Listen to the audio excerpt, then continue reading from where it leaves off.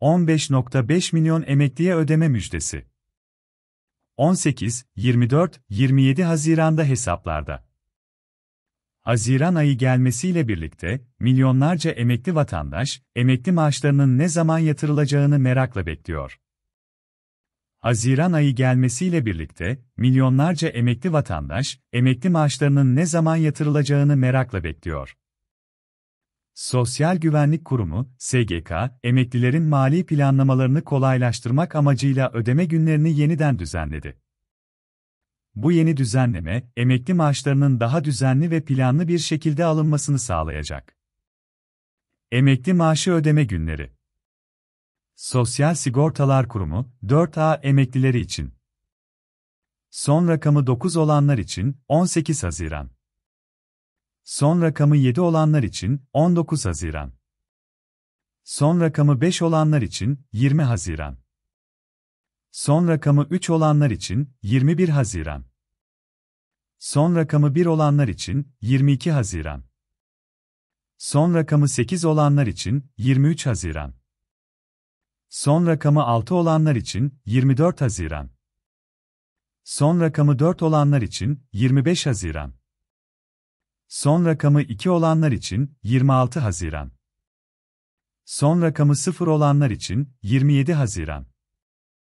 Bağkur 4B emeklileri için. Son rakamları 9, 7 ve 5 olanlar için 25 Haziran. Son rakamları 3 ve 1 olanlar için 26 Haziran. Son rakamları 8, 6 ve 4 olanlar için 27 Haziran. Son rakamları 2 ve 0 olanlar için 28 Haziran. E-Devlet üzerinden kolay takip.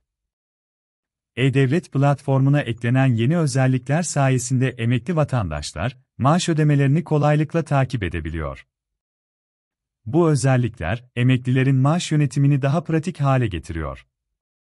Yeni düzenlemelerle sağlanan kolaylıklar SGK'nın yaptığı bu yeni düzenleme, emeklilerin mali planlama yapmalarını kolaylaştırmayı ve yaşam standartlarını yükseltmeyi amaçlıyor.